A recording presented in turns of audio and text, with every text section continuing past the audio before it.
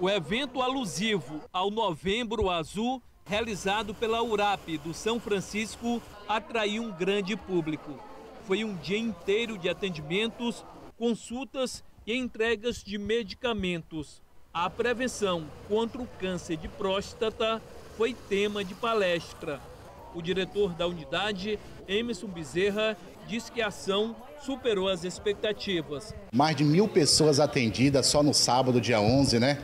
Graças a Deus a população veio em massa, os homens vieram e o atendimento foi fantástico. Ele disse também que o atendimento do Novembro Azul continua até o final do mês. Durante todo o mês também, esse Mário, a gente continua com a mesma programação, né? Com a mesma pegada. E graças a Deus o povo, os homens estão se cuidando, né? Esse público não, às vezes não tem um tempo para procurar uma unidade de saúde. E eles vieram no sábado, mais de mil pessoas atendidas, quase 500 consultas médicas.